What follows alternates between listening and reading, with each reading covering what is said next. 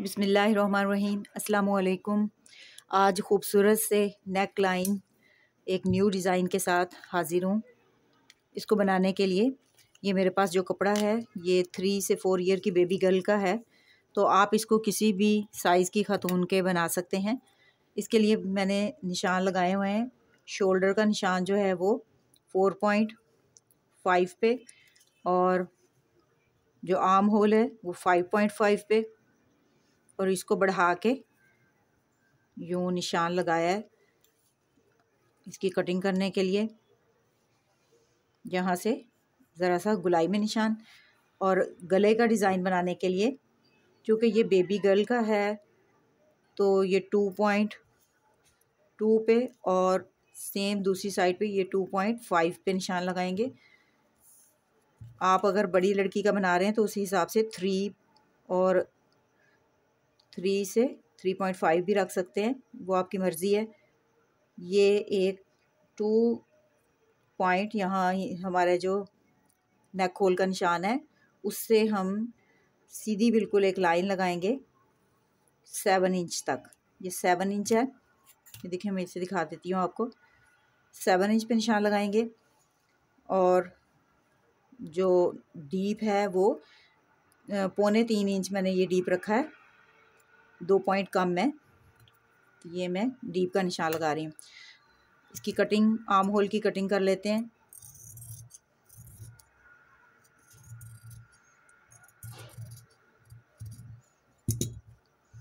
और नेक होल की कटिंग करने के लिए पहले ये जो हमारा निशान दूसरी साइड पे था, इसको यूँ आप गुलाई में ला के इस लाइन तक मिला देंगे। अब इसकी कटिंग करेंगे। ये एसमेट्रिक नेकलाइन बहुत ही खूबसूरत डिज़ाइन है जो मैं आज बना रही हूँ और बड़ा इजी मेथड है इसका। ये देखिए, यहाँ तक इसको मैंने कट कर लिया और ये जो निशान है, हम इसको भी कट कर लेंगे।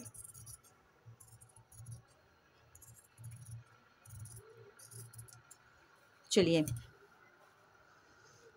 अब इस पर एक तरफ़ हम ये डोरी लूप लगाएँगे। ये डोरी लूप मैंने बना लिया है। इसको बनाने का मुकम्मल और सही, परफेक्ट तरीका जो है वो मैं अपने चैनल पे अपलोड कर चुकी हूँ।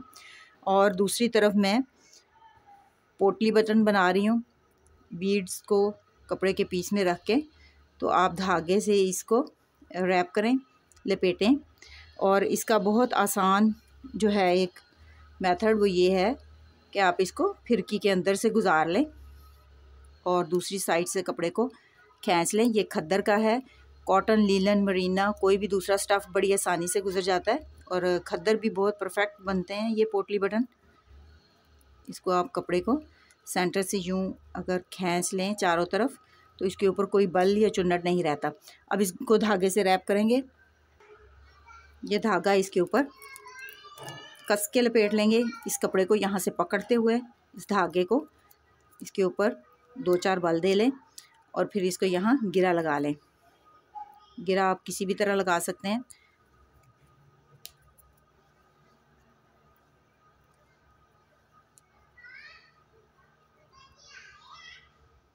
ये लीजिए ये हमारा पोटली बटन बन के तैयार हो गया है।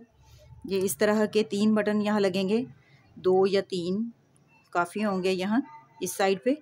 और इसी तरह ये दो तीन आ, हमारे डोरी लूप्स काम आएँगे।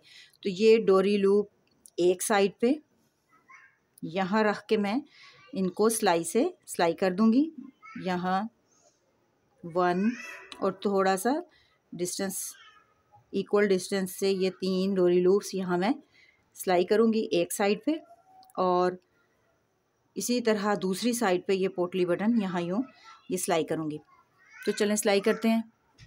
ये बटन और लूप्स जो हैं वो दोनों साइड पे बिल्कुल एग्जैक्ट एक ही पोजीशन में हो और दोनों का डिस्टेंस भी इक्वल हो। तो इसलिए ये मैं इसको यहाँ मार्क कर लेती हूँ। चलिए।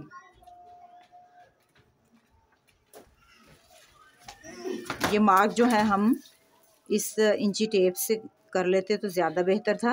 ये देखें, ये वन पॉइंट फाइव इंच के फासले पे है, इधर भी वन पॉइंट फाइव, यहाँ ये आएगा। तो चलें, अब लगाती हूँ मैं इसको। ये लूप और बटन दोनों अटैच कर दिए, एक्स्ट्रा कपड़ा जो है मैंने कट कर लिया है। इसके बाद नेक्स्ट स्टेप जो है हमारा, कपड़े की एक स्ट्रिप ली है, ये तीन इंच से दो पॉइंट कम, और इसके ऊपर पेस्टिंग पेपर जो है, ये भी टू इंच से वन पॉइंट कम। ये लिया है, आप टू इंच पूरा भी ले सकते हैं। इसको मैंने इसके पेस्ट कर लिया है, पहले सेंटर में फ़ोल्ड किया है और ये साइड के किनारों को फोल्ड किया है। अब हम इसको इसके साथ सिलाई करेंगे। यहाँ बैक से रख के ये सिलाई मैं लगाना शुरू करूँगी। इसके ऊपर यूँ और इस पूरी पट्टी के ऊपर ये सिलाई यूँ सीधी लगा दूँगी। ये सिलाई मैं आपको लगा के दिखाती हूँ। ये देखें, यहाँ ये सिलाई यानी ये पट्टी हमारी जो हमने तैयार की है, जिस तरह मैंने आपको बताया, ऐसे हमने इसको पेस्टिंग पेपर लगा के तैयार कर लेना है और इसको एक साइड से सीना शुरू करना है और इसको कॉन्टीन्यूसली ये सेकंड साइड पे यहाँ तक कंप्लीट कर लेना है। इसको मैंने सिलाई लगा दी है। ये देखें, जैसे मैंने आपको बताया था, वैसे इसको रख के सिलाई लगाएँगे। अब हम अगली सिलाई इस कपड़े की पट्टी को यूँ बाहर निकाल के यहाँ एक साइड से इसके ऊपर बिल्कुल सीधी सिलाई यूँ लगाएँगे। अब यहाँ ये आपकी मर्ज़ी है कि आप कपड़े के कलर के रंग से सिलाई लगाएँ या मैंने ऑरेंज धागा डाला हुआ तो मस्टर्ड तो मैं इसी से लगा लूँगी। बेबी गर्ल का है तो अच्छा लगेगा। इसी से मैं ये सिलाई जो है सेकंड वाली, ये ऊपर कंप्लीट कर लेती हूँ। ये सिलाई मैंने लगा दी है। अब हम इसको जस्ट सेंटर से, जहाँ तक हमने इसको कट किया था, वहाँ तक इसको यूँ फोल्ड करेंगे। सीधा कर लेते हैं। ये देखिए, सीधा करके इसको ज़रा सा प्रेस करते हैं। ये लूप और डोरी बटन के साथ हमारे नेक लाइन जो है, ये देखें, कितनी अच्छे तरीके से ये सिल गई है। अब इस एक्स्ट्रा कपड़े को मैं इसको पहले ओपन करके एक्स्ट्रा कपड़े को यहाँ से कट कर लेती हूँ। और इसके ऊपर, ये मेरे पास एक रेब में कपड़ा है, इसकी पाइपिंग कर लेती हूँ।